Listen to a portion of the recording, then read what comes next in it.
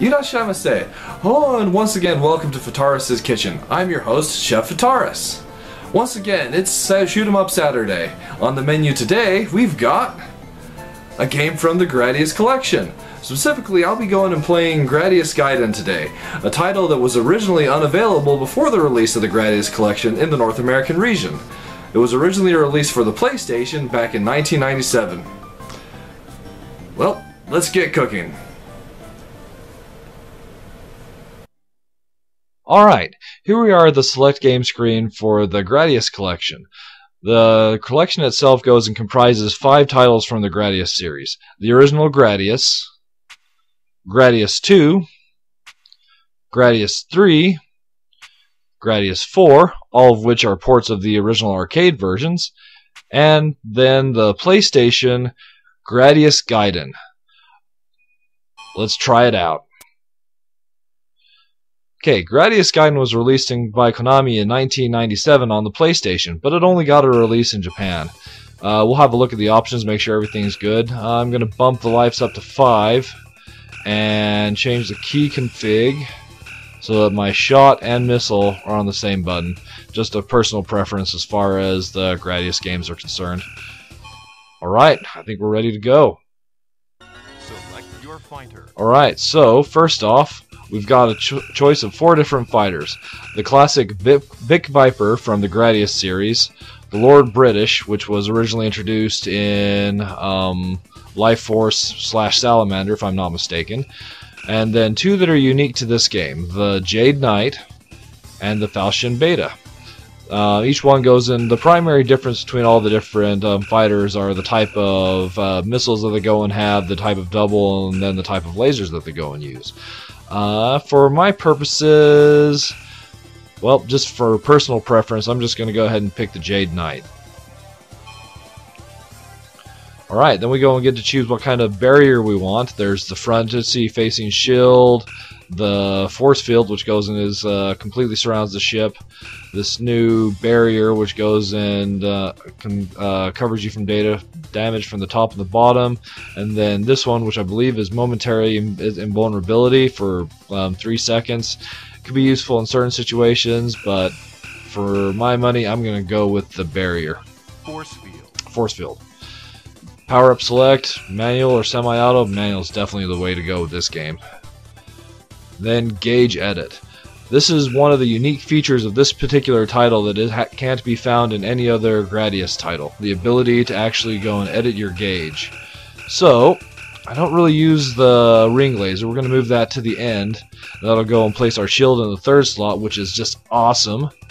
We'll go ahead and place the laser second, and uh, it looks pretty good. Alright, here we go. Um, just real quick, I think for today's episode, I'm going to go ahead and try and get through stage 3. Um,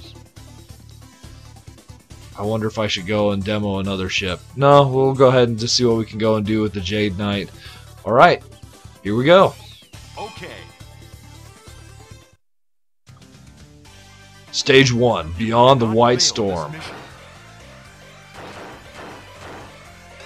So, if you're going and a fan of shoot 'em ups at all, I hope you'd at least be a little bit familiar with Gradius and the systems that it goes and has brought to the whole genre. Um, the primary feature of the game itself are all these power-ups that you go and all these, well, I guess not power-ups, or maybe power-ups. These little power-up icons that go and move your um, cursor on the power-up bar. As you go and get further along the power-up bar, you're able to go and select which weapons you want to go and upgrade to. So now I'm in like super awesome mode. At least I kind of feel that way. I've got level 2 laser, which admittedly is also something unique for this particular um, Gradius title, is rather than just go and have a single level of everything, you've uh, lasers and the um, missiles in particular have a total of two levels that they go and upgrade through. So I've got like level 2, level 2 pulse lasers, and level 2 spread bomb.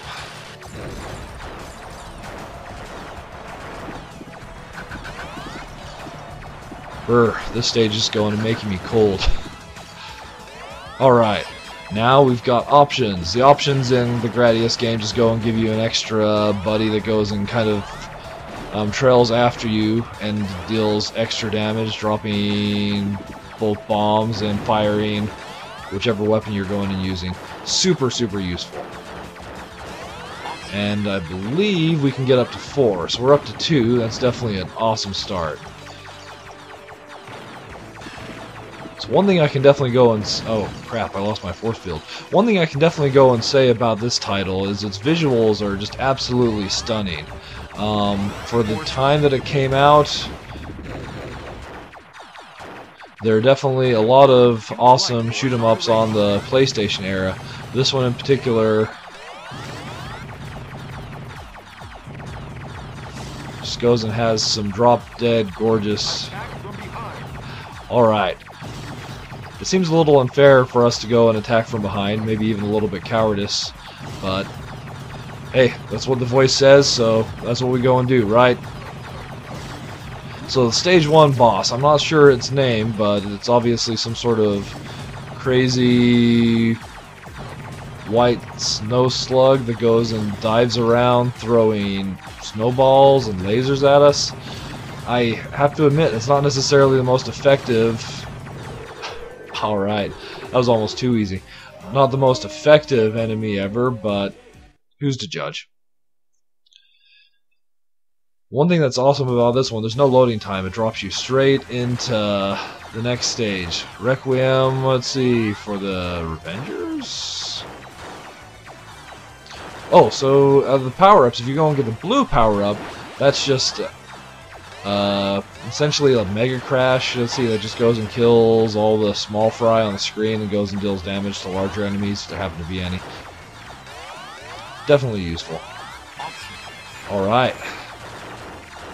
I do believe we are completely powered up. Full power, yo.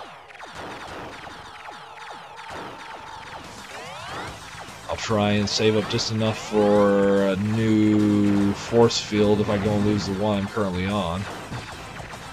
So, rather than the ice planet that the last stage was on, this one goes and takes place some sort of crazy space graveyard. Uh, for those that are familiar with the Gradius series, especially 3, um, specifically 3 and uh, up, you might possibly go and notice or um, recognize some of the ships that are, let's see, make up the background as uh, enemies that used to go in, or enemies from Gradius, from other great games in the Gradius series.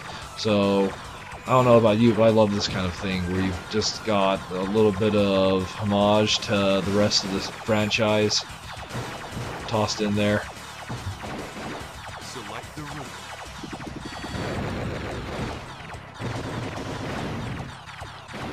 So at that point, it, it went and gave us a choice to go and pick an upper or a lower route. I decided to go lower.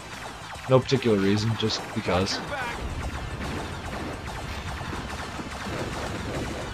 I definitely feel like we're in the realm of almost overpowered here, but that can change at a, like at a moment's notice.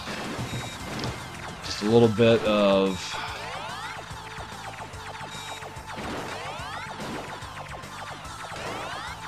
a little bit of like reckless, like flying, and we'll go and be toast.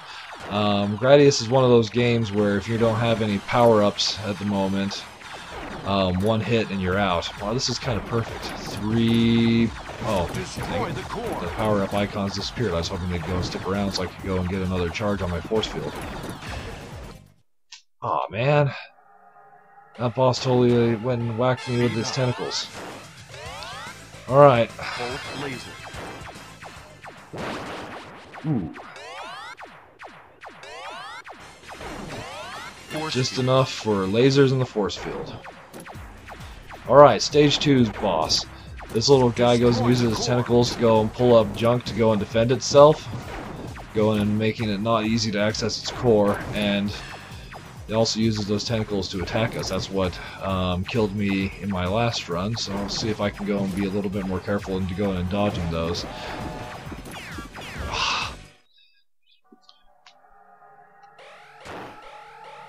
Oh, no speed. I'm not sure if I'm going to be able to level up as good as I was last time. Pulse laser. Pulse lasers and force Force field. Let's see if I can not waste it this time.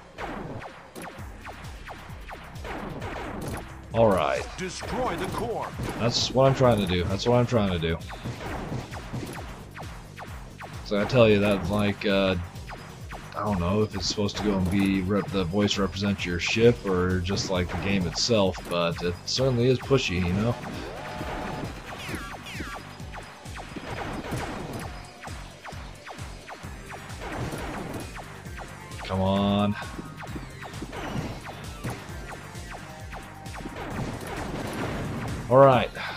Have access to the core now, so this might hopefully start to go down.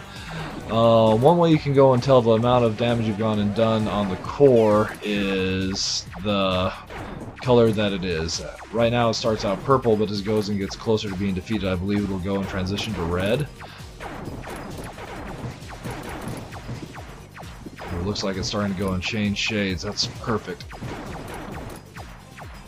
Avoid the tentacles. So far, so good. We've almost got it. And... Nope, nope. I thought I had it. Ah, here we go. Defeated. Alright. That is stage two.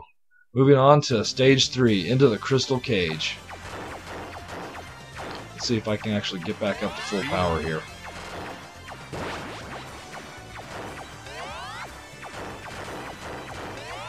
Pulse laser level 2. Alright, pulse lasers level 2. We need to go and get bombs, and then we'll focus on getting all our options loaded up. UFO coming. Spread bomb. These little enemies here are kind of neat. They go and reflect the shot. Oh, dang it. I wasn't even able to take it down.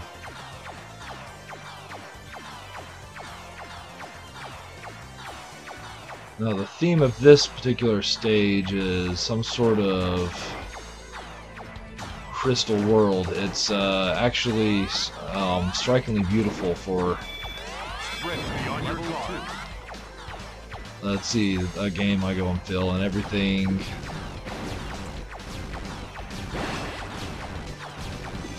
Crystals are just gorgeous, but if you actually go and watch, there's actually causing effects to both my shots and the enemy's shots. If its lasers go and happen to go and hit a crystal, oh dang it, I let that guy get away. Force field. If its lasers go and hit a crystal or mine do, they go and refract through it. It's uh, really a super neat effect that just goes and adds.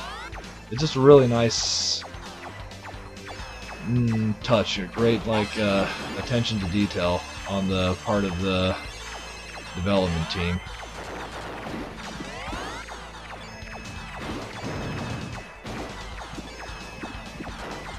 I would have liked it if maybe they'd gone and tried to have incorporated some more colors into the crystals themselves, but as is, it's like, you know, if you could go and travel the galaxy and visit like uh, all kinds of places, wouldn't this be a place you'd want to go and visit? Minus all the like enemies that are trying to go and fill your brain with itty bitty pellet shots.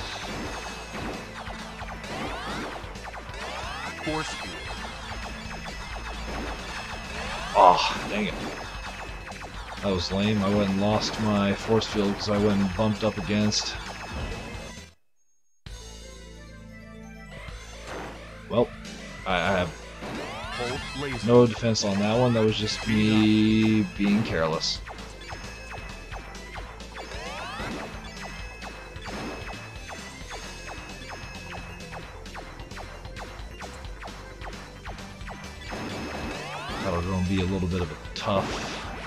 Laser level 2.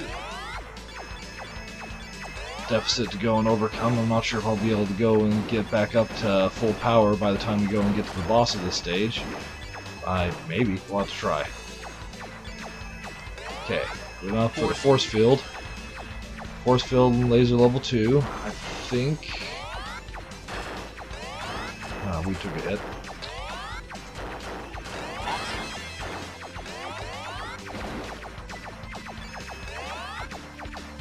Also, the sound effect as the crystals go and crash into each other is definitely fun. Bing!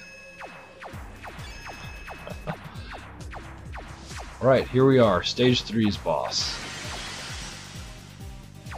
Shoot the center.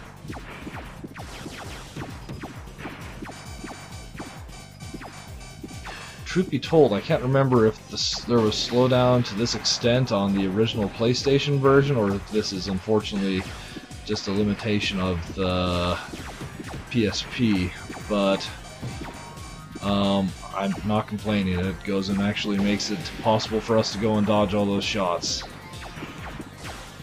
Small favors, I suppose.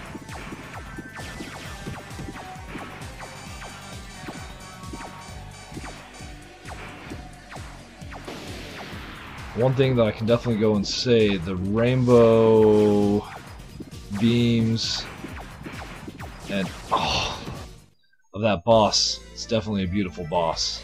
Maybe I shouldn't go and be complimenting the boss in like that kind of a fashion, but lame. Speed up. Pulse laser. Maybe it's not such a bad thing, you know, it's like, say, hey boss dude, I think you're a really awesome looking boss dude, you, let's see, politely not kill me? it probably doesn't work like that, does it? Alright, I don't think I'm going to be getting any more options, so let's go ahead and take Pulse Laser, Pulse Laser level 2.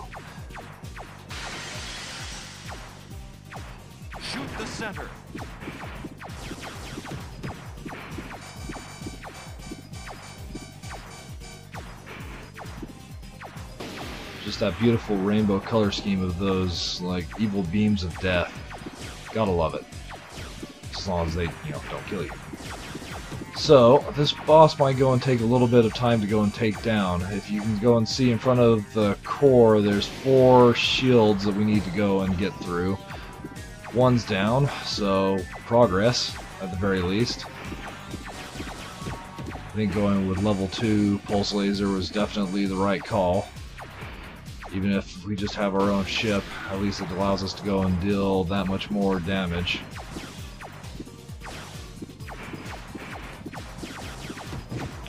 Alright, two shields down. Halfway, well, to the core.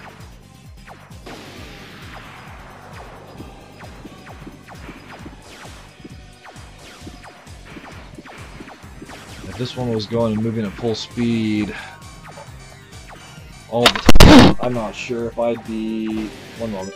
Uh, mic. Technical difficulties.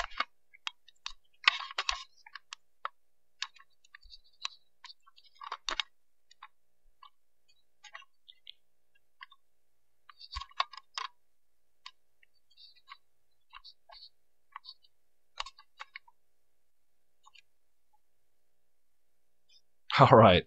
I think we're back in business.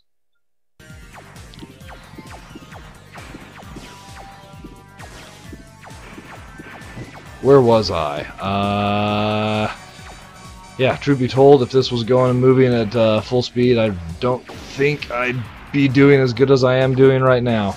And even then, I don't feel I'm doing that great. We're almost there, though. One more shield, and we're to the core. Just need to go and stay focused and not fall prey to any of these. Um, what do they go and look like? They totally reminded me of something. Uh, little glow sticks, yeah. You know the kind you always get for like summer events or Halloween or that kind of thing. That was close. Alright, all the shields guarding the core are destroyed, so now we're just going and dealing damage on the core itself. Few more shots, and hopefully...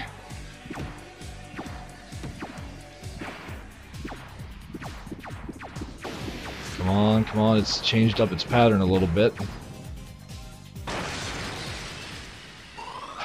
Bye, Rainbow Dude. It's like you were truly an awesome boss. Stage 4, Ruins of Silence. Alright, I think we'll go ahead and end the episode there for this week. I really go and uh, appreciate uh, the, or I really appreciate you going and joining me for Shoot 'em Up Saturday. Uh, once again, if you have any suggestions for shoot 'em ups that I can go and play in future episodes, please feel free to go and leave those in the comments below. And thank you so much for going and joining for this. We'll hope to see you again.